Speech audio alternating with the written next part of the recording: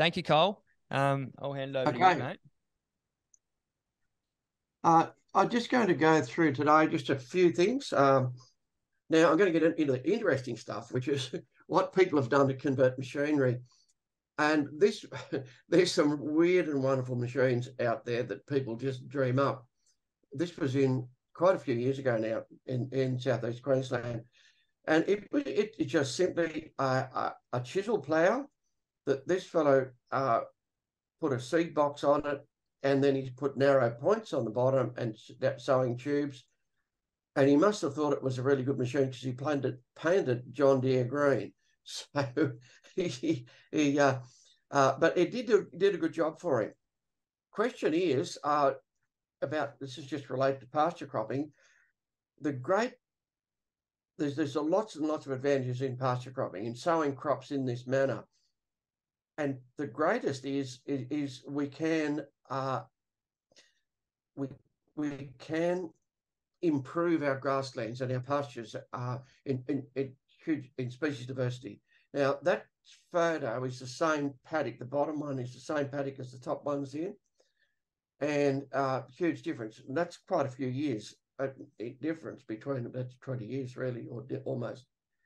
Now, if you look at the, the original photo, there's hardly any perennial grasses in that. Those dry stalky bits are, are native perennial grasses. So I didn't start with, I started with virtually no perennial native grasses.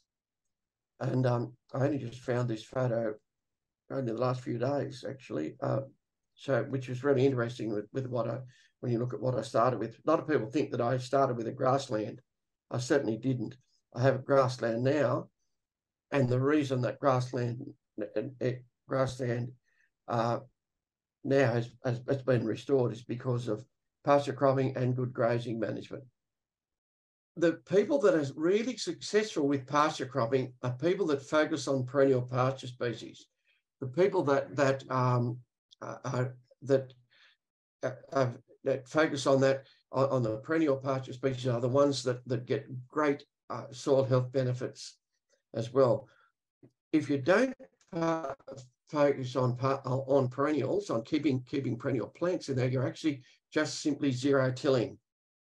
And you will not improve soil nutrient cycling, you will not improve soil structure, and you will not improve the soil ecosystem. And my your, your bottom line, your, your profit very much either.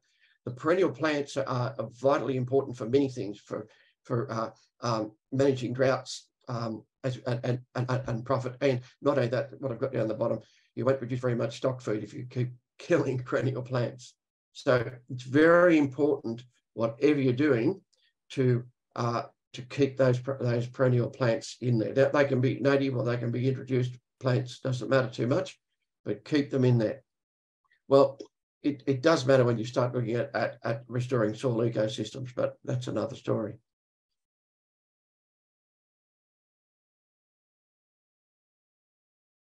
Yeah. Very cool. Uh, Helen, I'm just wondering if you can hear us okay, and that if you have any feedback or would you you'd like to chime in uh, to the conversation here and ask Colin any questions.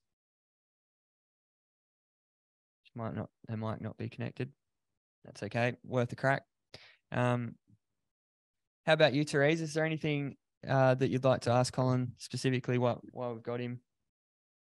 Yeah, absolutely. I, it's a, an absolute beginner's question, but that's where I'm at. Um, Colin, with these um, the multi-species that you're talking about, do you have to sow them every year, or do some of them kind of come back through seed that gets kind of um, stocked into the into the soil? Yeah, no, that's a great question. Most of them are annuals. Uh, they, they, they're uh, very productive, fast-growing growing annual plants. Um, but in saying that, you can add some, or include in that mix some things like uh, plantain and chicory, uh, and, and, and some people are sowing some of the, perennials at the same time. It's a little bit risky doing that, sowing perennials at the same time as them because perennials don't compete all that well against those fast growing annuals. So they're mainly, yeah. there's a few reasons that, that we're sowing them. Like I, I do quite a lot of talks on that, um, different talks at, to different people, different, different, yeah. Um, there's a lot of advantages in, in those multi-species crops that they will prime the soil and fix hard compacted soils to start with. Um, and I usually recommend people sow those multi-species crops uh, for, for about two years before they sow a permanent perennial pasture. And um, uh, uh, mainly because uh, then, then it'll prime the soil uh, to get a better result with their perennial pastures um, and get nutrient cycling and, and fix the soils quite rapidly. Uh, many advantages in them, uh, as well as producing very high quality stock feed and a lot of high quality stock feed. Okay, thanks very much for that. Just realised I'm sitting in the dark here. that, will yeah, probably help. There he is. Um, well, it's not dark in WA. no, no. Oh just, no, you're still in the middle of the afternoon. We've just had lunch, yeah. No. yeah. Um, and one other thing I'd just like to touch on, Colin, you mentioned that you would be better moving away from the conventional N and starting to move towards uh, vermi vermiculture, um, compost tea like extracts and things like that. Is there a reason you say that, and and why?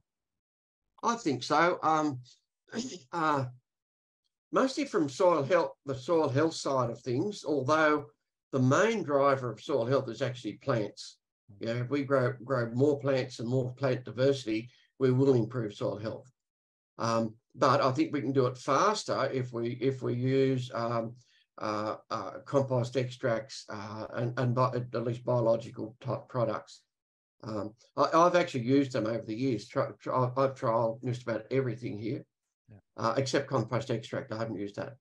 Um, but I think I'd be better off to do that uh, and move that way. It, it, does require liquid injection, which I do have on my machine, so I could do it. Um, there, there's uh, some worm products uh, uh, which I'm uh, I'm seeing results. I'm sort of bit involved, or I keep a close watch on people that are trialing.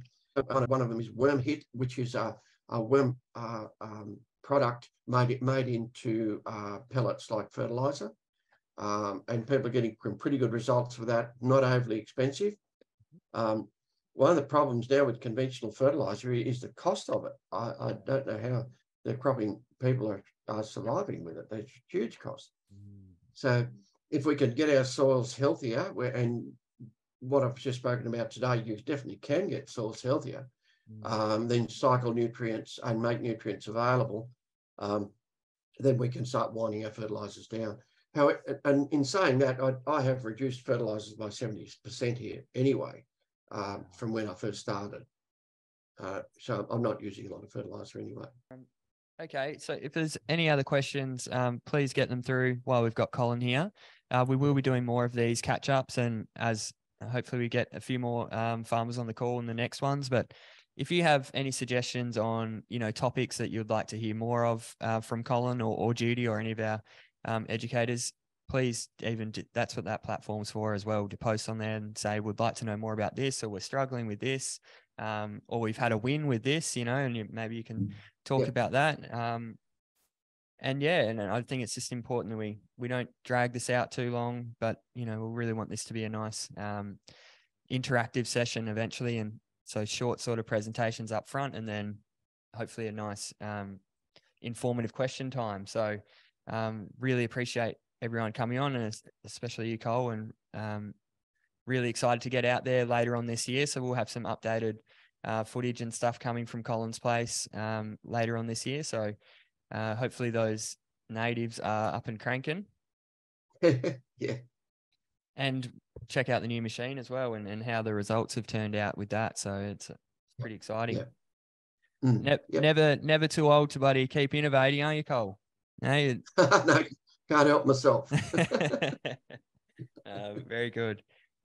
All right, gang. Um, Therese, is is there anything else you want to chuck in? Um, well, well no, yeah. it's been it's been very helpful. Thanks very much. Awesome. I've enjoyed the presentation. Thanks, Colin.